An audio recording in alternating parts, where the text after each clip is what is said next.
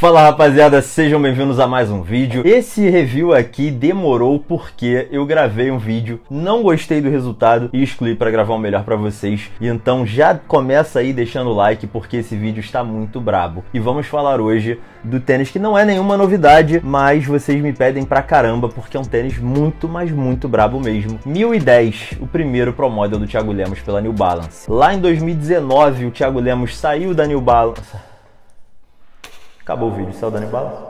Lá em 2019, o Thiago Lemos saiu da DC após anos e anos de marca. Ele era a cara da DC naquele momento, né? O início do, do crescimento do projeto de tênis oldies, né? Eu lembro pra caramba dele no Street League, de Legacy OD, roupa toda largona, as videopartes dele eram sensacionais. E eu confesso que como fã do Thiago Lemos e fã da DC, quando ele largou a DC, que é uma marca core, skate, pra ir pra New Balance, eu fiquei bem receoso com o que ia acontecer. Hoje em dia eu vejo que ele fez muito bem. Não que eu não goste da DC, mas sim por tudo que a New Balance fez pelo Thiago Lemos ao longo desses anos. E é muito maneiro de ver. Logo que ele entrou na New Balance, ele já começou ali a desenvolver o primeiro Pro Model dele. E eu acho bem legal que eles conseguiram mesclar umas coisas que são clássicas da marca, como por exemplo essa toe box aqui, que é no mesmo desenho da toe box do 574 e alguns outros clássicos, com umas coisas que são do skateboard tanto moderno quanto mais antigo. Agora, uma coisa que eu vejo bastante review da gringa falando é que esse tênis aqui é basicamente um dead shoe. E rapaziada, eu já vou falar isso desde o início. Esse tênis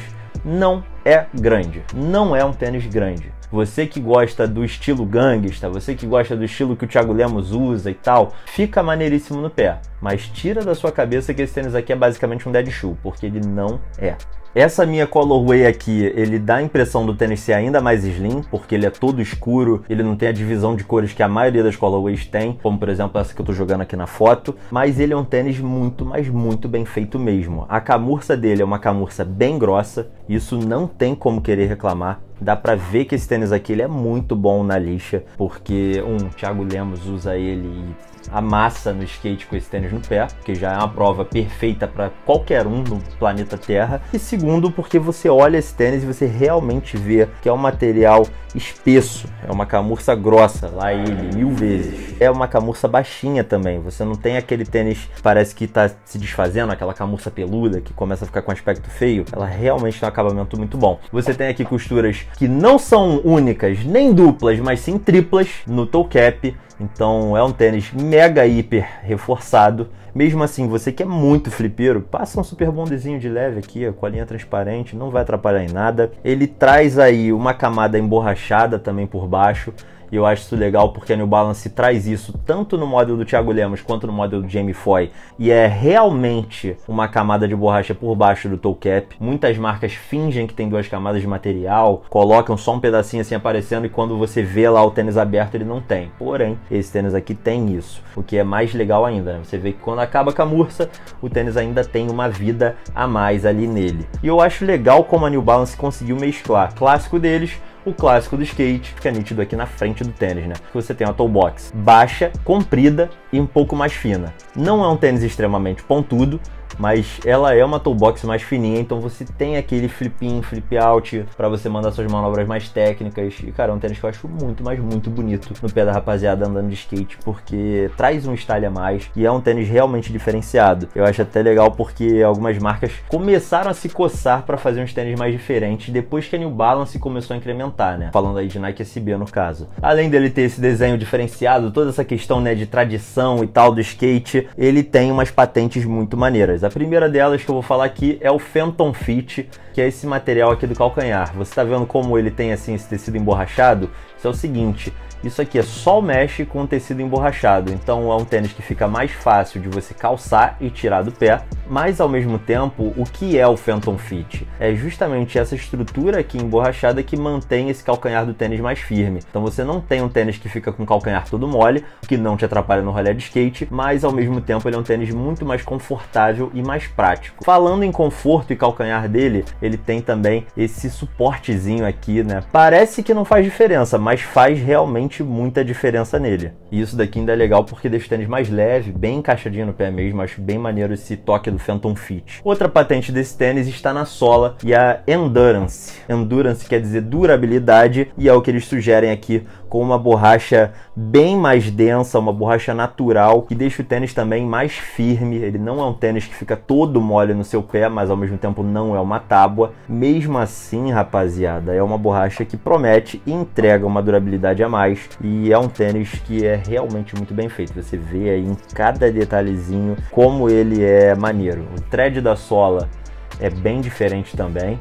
Você tem aqui né, como se fosse meio que umas ondas e tal. Eu não sei se tem algum significado a mais, eu imagino que não. Mas vocês estão vendo esse detalhezinho verde aqui? Isso tem um significado a mais. Essa é outra patente da New Balance, que inclusive eles pegaram do setor running da New Balance e adaptaram a densidade pro skate. E essa patente é o Fuel Cell, que é uma camada de PU que fica por dentro da entressola do tênis para dar mais conforto. O legal de ter ele exposto aqui é que você consegue apertar e ter uma ideia, mas sinceramente, rapaziada, não é um tênis assim extremamente confortável. Não parece estar tá pisando nas nuvens. Mesmo assim, para um padrão de tênis de skate, ele dá um conforto a mais. A palmilha desse tênis é uma palmilha Ortolite, que é basicamente para fazer um forro no tênis. Ela só tem aquela voltinha, né, para acomodar melhor o seu pé. Por dentro desse tênis nós temos aqui um dos detalhes mais adorados pela rapaziada toda do skate, eu me incluo nisso, que são os elásticos na língua, que deixam o tênis bem encaixado no pé e às vezes me incomoda um pouco porque ele fica puxando a língua para baixo. E aí eu fico deixando o cadarço dele todo largão para ver se a língua fica para cima, mas eu meio que já desisti também. Tem um lado bom e tem um lado ruim nesse tênis. O lado bom é que ela não fica indo pro lado, porque essa é uma língua fina então com certeza ela ficaria indo pro lado. E o lado ruim é que ela não fica para cima naquele estilão gangsta, aquele estilo Thiago Lemos, né, basicamente. E de novo, né, esse tênis não é um tênis grandão e não é a ideia dele ser um tênis grandão. Então nós temos aqui uma língua que é mais fina, ela tem um enchimentozinho muito básico, toda feita de mesh, é uma língua bem respirável. Inclusive, gosto bastante de usar esse tênis, tanto para sair quanto para treinar, que é um tênis que encaixa bem no pé. E aqui no colarinho ele tem uma espuminha, mas é bem de leve, porque de novo, a ideia dele não é ser um tênis gigante nos 90, nos 2000. O Thiago Lemos ele quis explorar um lado mais tecnológico assim que ele entrou com a New Balance, e eu acho que foi uma sacada muito boa, porque você tem um tênis muito diferenciado. Eu acho bem legal esse design aqui da sola, o jeito que ela fica no cabedal, né, com essas ondas, os painéis. Você tem um contraforte que ele é um pouco mais saltado, vamos dizer assim, e todo feito de camurça também. Então, tênis assim 100% pensado no skate. Eu acho bem legal também esse detalhe aqui,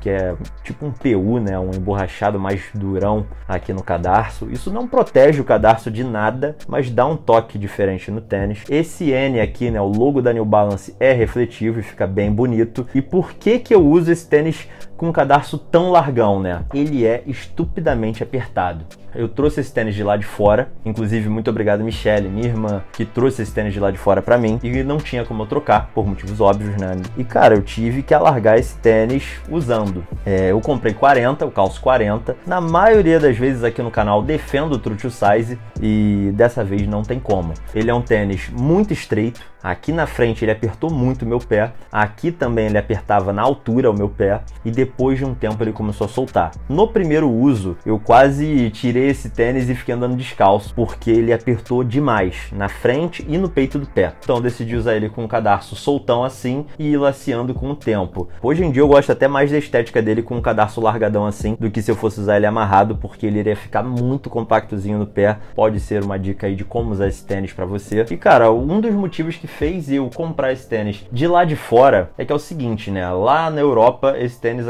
estava no valor de 100 euros. Eu acredito que ainda esteja. E eu peguei ele numa promoção com 40% de desconto, então eu paguei 60 euros, que na época eram 346 reais. Eu lembro de cor esse valor, porque quando eu olho o preço que ele é aqui no Brasil, eu fico em choque como que um tênis de skate pode ser 900 reais. É um tênis que eu acho sensacional. Eu rasguei elogios aqui no review, mostrando para vocês. Eu gosto muito, ele é um dos tênis que eu mais uso. Mas 900 reais num tênis de skate, para mim, minha opinião pessoal agora, deixa de ser um tênis realmente de skate. Eu sei que o Thiago Lemos não tem nada a ver com isso. Isso tem a ver com decisões de um milhão de pessoas de uma mesa de diretorias da New Balance, tanto de lá de fora quanto da New Balance Brasil. Mas, cara, 900 reais é basicamente impossível. Se esse tênis fosse um 699, ele já ia ser um tênis caro, mas dentro da realidade de hoje ia ser mais aceitável. Agora 899, me desculpem.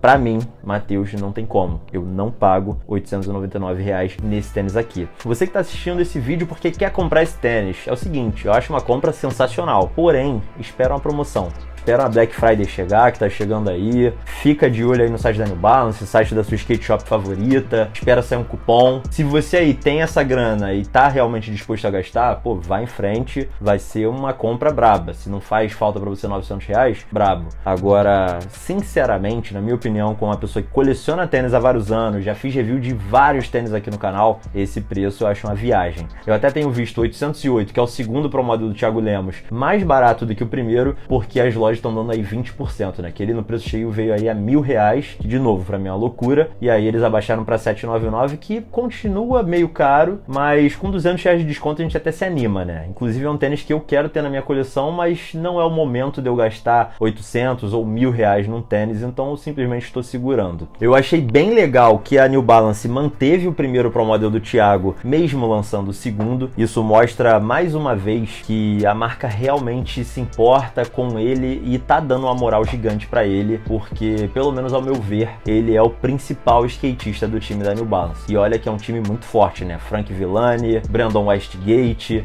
Jamie Foy, Andy Reynolds, que é uma lenda do skate, vários outros atletas que estão entrando, né? Um time que tá crescendo muito. Inclusive, rapaziada, deixa nos comentários o que vocês acham da ideia de eu fazer um vídeo aí, né, sobre a entrada da New Balance pro skate, porque é um projeto de 10 anos atrás. Vocês sabiam disso? Uma loucura, né? Tem 10 anos que a New Balance está aí tentando entrar no mundo do skate e tem 4 anos que eles estão conseguindo com muito sucesso. E um dos grandes responsáveis por isso foi o Thiago Lemos, foi não, né? Na verdade é o Thiago Lemos com esse tênis aqui principalmente. Tropa, muito obrigado por assistir até aqui. Fique com as imagens no detalhe e as imagens on fit e deixe nos comentários também o que, que você acha desse tênis aqui.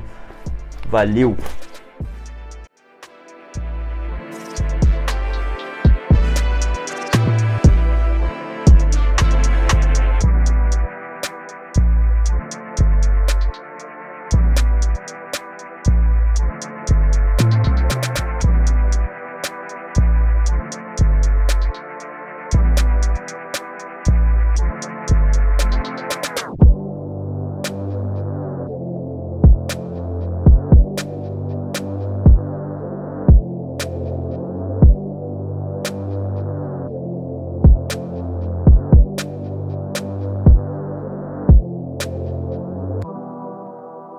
dois, três.